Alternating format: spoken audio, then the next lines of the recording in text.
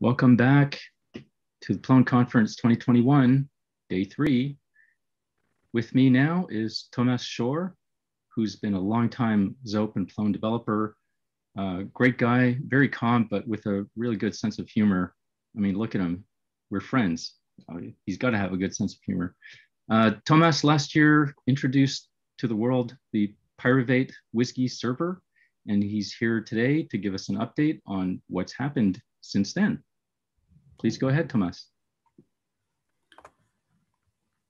Um, thank you, Kim, for introducing me. And hi, everybody.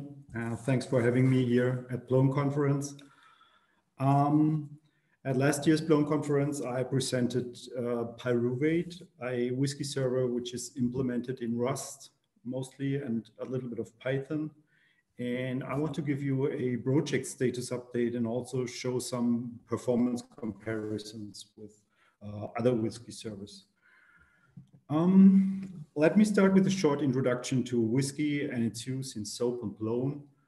Um, WSGI is the Python web server gateway interface um, and uh, is specified in Python enhancement proposal 3333. Uh, it's the standard interface between Python applications and a web server. Uh, and it's pretty old. It was created originally as Python Enhancement Proposal 333 in 2003. And then there was an update in 2010, mainly because of uh, Python 3. And as for Zope Plone and WSGI, we, we all remember the community efforts to migrate Plone to Python 3, uh, led by Philip Bauer a couple of years ago. And um, during that migration, uh, Zope 4, Zope 4 was introduced and Zope 4 replaced uh, ZServer, which was bundled pre previously with uh, Zope 2 with uh, WSGI. And uh, all that happened actually quite late uh, given the age of the WSGI PEP. And during that migration, I contributed a bit to the WSGI setup of, of Zope and Plone.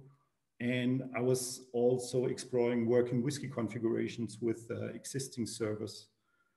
Um, and eventually, and out of curiosity, I decided to start my, to start writing my own WSGI server. Um, also because I wanted to learn Rust and thought it would make for an interesting project.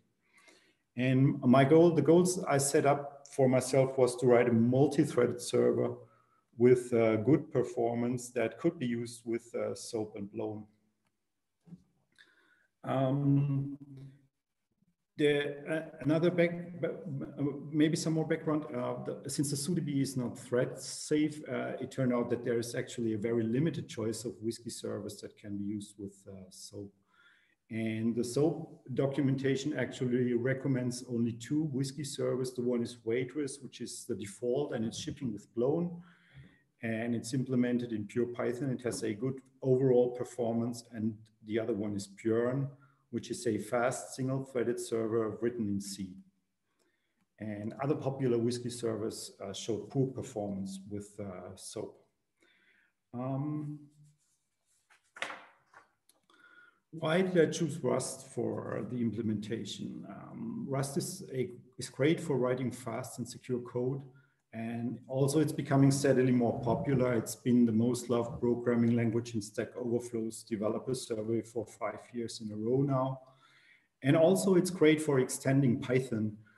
Uh, and there, there are, there's a prominent example we all use and you might not be aware that it contains Rust code, and that is uh, the cryptography package available on Python package index.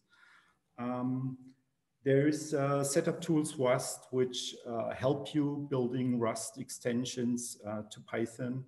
And there are a couple of uh, Rust, in, CPython, Rust CPython interfaces. I'm using Rust CPython, but there's also um, PyO3 and I think there is uh, Rust CFFI also. Um, so what is Pyruvate from a user pers perspective? It's a package available from Py Python package index. So you, to use it, you would pip install Pyruvate. And then it's an importable module Uh, you import it, you have your WSGI application, and it's basically consists of one function that that's named serve. And you pass in the application as parameter and the socket you want to use and the number of worker threads, and that's it. Um, you have a running WSGI server. Um, to use it with uh, Zope/Plone, um, there's still build out still around. Uh, um, I heard uh, Jens Klein's uh, talk yesterday, and uh, we are all going to move to pip install Plone, but uh, as of yet, there's still a build out. And since uh, Pyruvate has a paste deploy entry point, um, you can use it with build out as well. you can sp specify a, a ini template in your um, Plone recipes uh, uh, in your instance part. And uh, the template is pretty simple. You pa pass in the, the egg entry point, the number, the socket you want to use again, and the number of workers. Um, uh, quick rundown on the features. It's Pyruvate supports active Python versions. Currently, that means Python 3.6 through 3.10. Uh, I already mentioned it's got a Rust CPython based Python interface. I'm using MIO, Metal IO, which is a Rust crate that is part of a, a larger framework called Tokio, uh, which is a async Rust framework uh, to implement the IO event loop. And then I'm having a worker pool. So I lay off, um, so I, am I'm, I'm collecting the requests. Uh, I'm, I'm laying off the requests after accepting them to a, work, to a worker pool. And then there's a paste deploy entry point.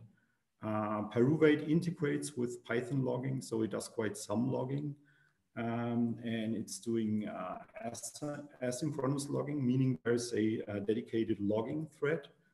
Um, and so the Rust code that that produces a, that creates a log message does not need to hold a global interpreter log. Um, um, you can use it with TCP or Unix domain sockets, and also it supports uh, systemd protocol socket activation. The current version on the Python package index is uh, 1.1.1. Uh, I've, I've changed uh, um, the development status to production stable in version 1.1.0. So the latest version only adds Python 3.10 support. Uh, it supports Linux on and Mac OS. It's hosted on GitLab. Um, I'm having quite a couple of tests now. The test coverage is at 89%, the reported test coverage on uh, and uh, there, but uh, it's important to know that there are Rust tests and Python tests, and only the Rust tests add, currently add to the reported test coverage. So the Python tests, which are implemented as tox tests uh, are uh, on top of that. Um, so the, the actual test coverage might be a, a, a little bit higher. Um, there is binary packages for Linux, so you don't need Rust to, um, to use Pyruvate. Um, uh, it's Many Linux 2010 wheels, and um, so so it's important to have a to have recent pip or and setup tools uh, versions to, to, to use it. Um, let's talk a bit about um, performance. Um, there's a uh, there's a uh, pretty well-known uh, analysis of WSGI server performance uh, done by Omed Habib of AppDynamics. Um, that I used as a starting point for doing my own performance uh, benchmarks. Uh, and that, that uh, benchmark was published in 2016, and some of you will know it. And uh, he compared six WSGI servers. Uh, they were bjoern, Cherry Pike, Gunicorn, Meinheld, mod_wsgi, and uWSGI. Um, and uh, uh, as I said, as I've used them as a starting point for my own test, tests that I want to present today. And uh, so the benchmark, they, they carried out uh, by using a Docker container. So they isolated the WSGI server in a Docker container and allocated two CPU cores to that container and 512 megabytes of RAM. And um, the testing was done with a benchmarking tool called wrk, um, which you can find on GitHub. And the servers were tested in random order with an increasing number of simultaneous connections ranging from 100 to 10,000, which is quite a lot. And wrk was also limited uh, by using task sets to see two CPU cores that are not utilized, utilized by the Docker container. And uh, each test lasted 30 seconds and was repeated four times. And I, I, I thought that uh, setup was, was quite good and it's, it, it, suits what, what I wanted to do. And yeah, I'll, I like it a lot. And yeah, that's why I adapted it. Then the number of sustained requests, errors, and latencies were provided by wrk, by the benchmarking tool, and Docker stats uh, provided the high CPU and memory watermarks. And um, they, the highest and lowest numbers uh, measured were discarded and the remaining values were averaged. That's the procedure they carried out in the original benchmark and I just kept it because yeah, you could do it differently, but, but yeah, I just wanted to stick with it. Um, what you can see here is the WSGI application they use for the benchmark. And as you can see, it, it simply returns okay as a list, as a, whisk, as a iterable. And uh, note the code that's, uh, note, the, note the comment that's saying doesn't really do anything since we're benchmarking the servers, not this code and uh, we are going to discuss that in a bit. Um, so my changes to the original set, setup was I swapped Meinheld and mod_wsgi for Pyruvate and Waitress because I wanted to keep the servers that were reported for working with uh, Zope and Plone. Then I, I, changed it to use Python 3 only because it was uh, because it was still, still using Python 2 in some cases and I decreased the number of levels for the, for the number of simultaneous connections. Um, also, the original benchmark uh, reported very disappointing results for the uWSGI configuration. So I thought I'd change that a bit and I'm using only one process with two threads. Um, the CherryPy configuration did not work any longer because Cheroot, the WSGI server of CherryPy is now packaged separately. So I had to change that a bit and I swapped Docker for Podman because that's what I have on my uh, machine. And yeah, some yeah, the original application simply returned okay as a string, but it should be bytes for Python 3. And I've put a fork on GitHub for those who are interested. Um, you can find it. Um, the server versions are the recent versions. So I'm testing waitress 2.0 for those who are interested, bjoern 3.1.0.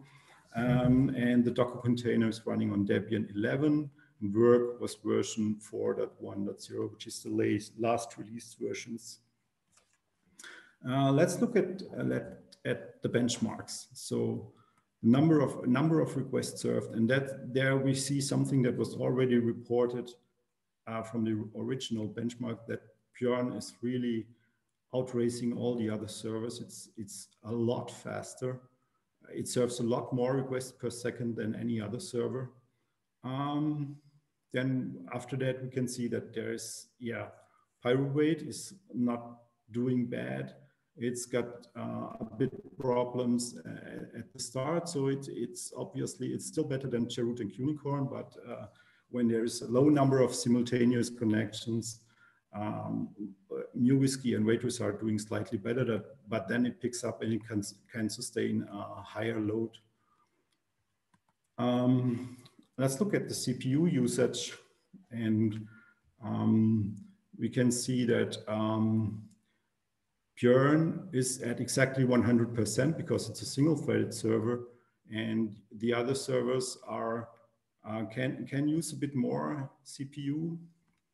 Um, uh, and there's Gunicorn, which is uh, which at higher loads uh, cannot use uh, a, a, CPU anymore and, and goes goes goes down. So CPU usage goes down.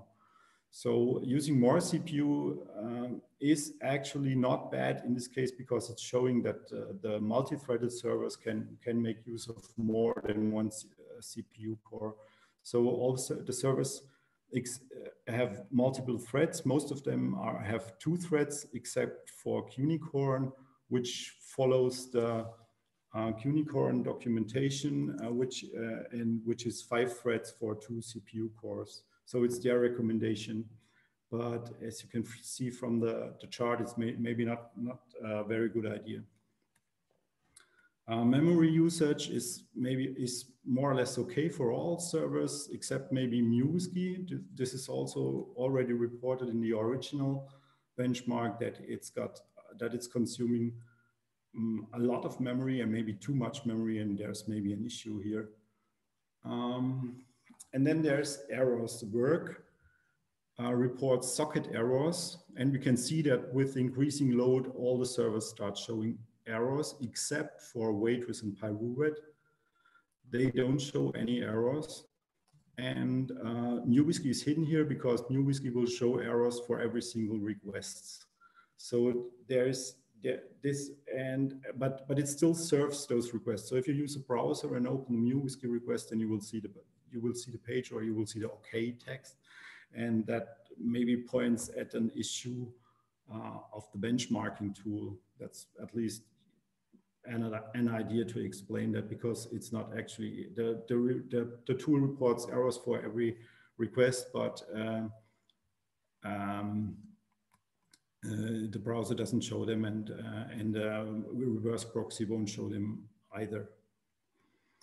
So as we have seen there, there are, there are a number of WSGI servers that are not doing bad, like Waitress and uh, Pyruvate is also, um, I'd say, better than average. But the, the actual question that comes, comes out of this benchmark is why is bjoern so much faster? And of course, it's a good, very good WSGI server implementation, and it's got many optimizations. And um, it's, it's implemented in C, and C is always good for speed. But uh, then again, um, WSGI is also implemented in C and C++. And uh, I haven't, I, that question was already raised in the original benchmark, and they suspect that there's something wrong there with the measurement or with the, with the setup. But I have an idea on that, and that is that um, the, the, that switching from a single threaded to a multi-threaded server comes uh, with uh, benefits and costs and uh, shared access to resources actually adds to the complexity of the um, WSGI server um, programming. And also, um, if we do, if we do, if, if we are offloading uh, web requests to a worker, to, to worker threads, that only makes a really sense when there is actually something to work on.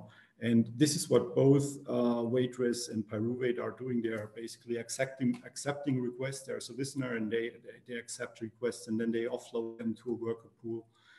And uh, you might you might now remember that comment in the WSGI benchmarking application saying there's not not really anything to do here and uh, I think that that uh, there's a point here that uh, the, the WSGI server uh, multi-threaded WSGI servers have additional complexity and and uh, that shows in the benchmarking results and uh, the the application actually um, is is better for a single threaded server. Um, but of course, um, if you have something to work on that, that might make sense to use multi to, to use a worker pool. And also there might be uh, shared use of ex expensive resources that you can realize with a worker pool like e.g. database connection.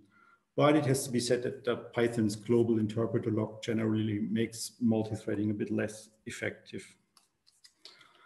Um, so um, let's look, so with that in mind, let's look at a more realistic scenario and let's start benchmarking Plone. So uh, starting with that benchmark, I created a Docker image for Plone 525 containing three Plone instances with uh, bjoern, Pyruvate, and Waitress respectively. And I have modified the benchmarking script So I have, yeah, well, in the Docker file, I have increased, uh, yeah, no, that's in the benchmarking script. I have increased the memory to one gigabyte. So there's a bit more memory because I thought Plone might maybe need more, a bit more. And I'm also benchmarking different URLs, not only one URL. And we'll see that in a bit. And I'm doing some cache warming before the actual measurement because um, Plone and Zope are using caches on several levels. And I thought it's, it's maybe a good idea to, to warm them up. It's all in the fork on GitHub. So if you're interested, you can check that out. And then I've prepared a ZODB with a Plone side and the URLs that I want to benchmark. And uh, I'm mounting that into the container. And um, I'm using, I'm, I'm benchmarking Plone 525, but I've pinned waitress to version 2.0 because Plone 2525 still ships with 144, but I wanted the latest waitress version. And it's compatible, of course, with, with the latest Plone.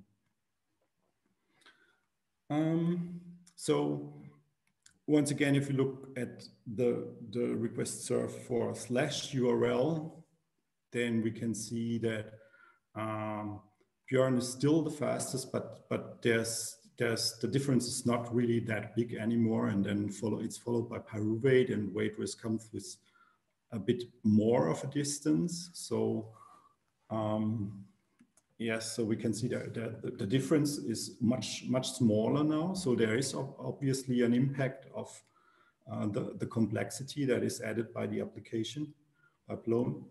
If we, if we uh, benchmark the Plone URL, then it's becoming even less of a difference. So you can see that they're, they're both, that they're all three servers uh, are approximately the same.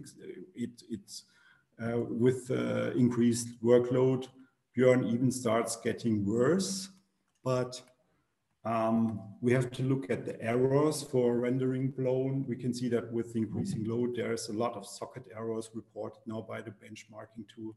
And bjoern starts out a bit earlier than the two other servers, but uh, the message here is really that you can't you can't have that many simultaneous connections uh, to request uh, Plone URL.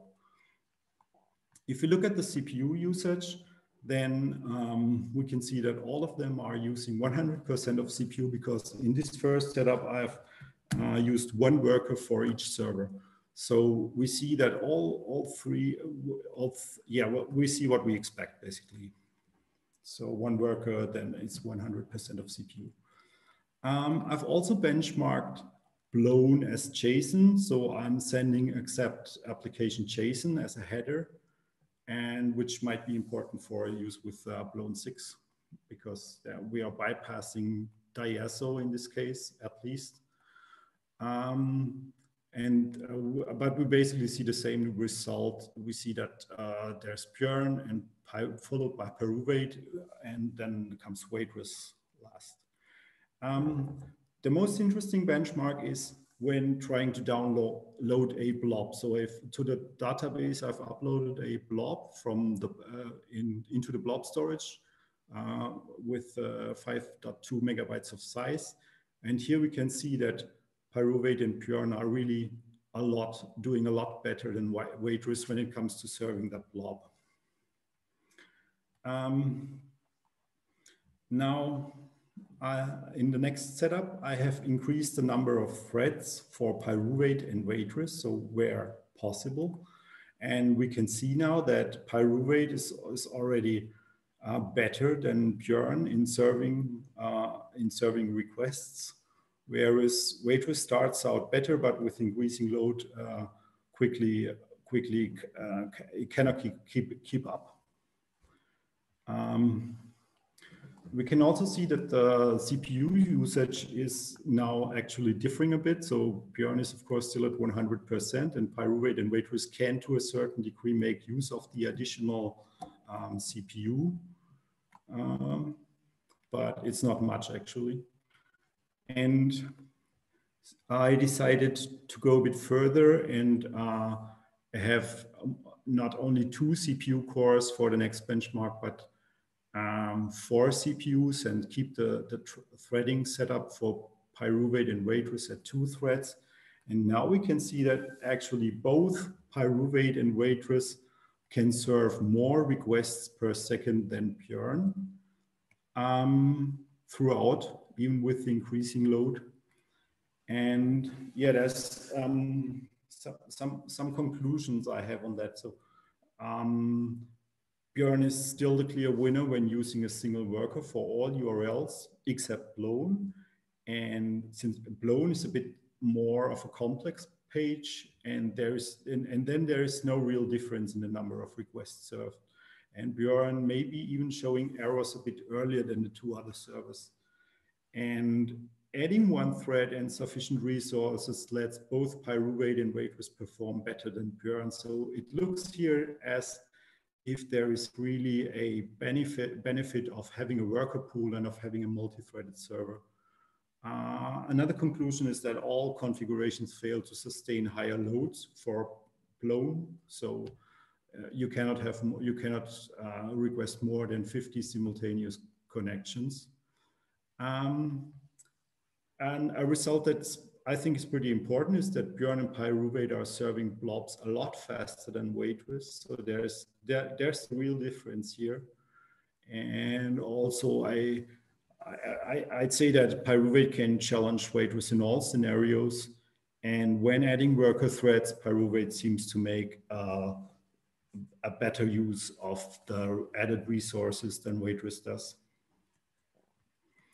Um, I'm coming uh, coming to the end, and I, I want to I want to present a chart to to answer a question that probably um, some of you might have, which is, does it really make a dif difference? Is it is it worth um, uh, switching the WSGI server? And we have been using uh, Pyruvate in production now for a couple of months on uh, different sites, uh, plain Zope sites, uh, Plone sites. There's also a pyramid uh, site. And I, what I did here is I um, made some sort of A-B test using a C, uh, two ZEO clients, one uh, running, one using Pyruvate and one using Waitress. They're both on the same virtual machine. And in front of them is an Apache web server. We, we use Apache in this case because we have to do some uh, authentication and uh, it, it, it's, yeah, it's, yeah, it's policy to use Apache for that. And um, this Apache web server is doing fair balancing be between those two ZEO clients. Uh, both use uh, two worker threads. And um, as you can see, this is a very low traffic site, but still um, there's a clear difference in the number of requests that gets directed to Pyruvate uh, compared to those directed to Waitress. So um, what you can see here is that uh, that, that, that continuously Pyruvate gets gets assigned more requests by the by Apache by the Apache uh, reverse proxy in front of it, and uh, actually the number of requests is are served uh, is uh, lands to 47% uh, on, on waitress and 53% are served by Pyruvate. Um, and that uh, difference would also be significant if you would, for example, do a t-test for paired samples, then it would be highly significant. And yes. And with that, I want to, uh, I'm, I'm coming to the end. Um, thank you very much for your attention. And yes, consider using Pyruvate. I think it's pretty easy to replace Waitress with Pyruvate and maybe it suits your setup and your configuration. Thank you. Thank you, Thomas. That's brilliant. I had uh, very little insight into WSGI servers. I just knew we had to have one. and so it's great to see all the detailed work that you've put into this and creating Pyruvate and uh, continuing to work on it and improve it. And um, I, I am curious to know how soon we're going to get this as the default WSGI server for Plone. But uh, thank you very much again, Thomas Schorr. Uh, everyone, please join us. Please join Thomas in the Jitsi. I'll be posting the link in the Slack, or you can find it right under in your LoudSwarm window. And uh, thank you again. Let's talk over in the Jitsi.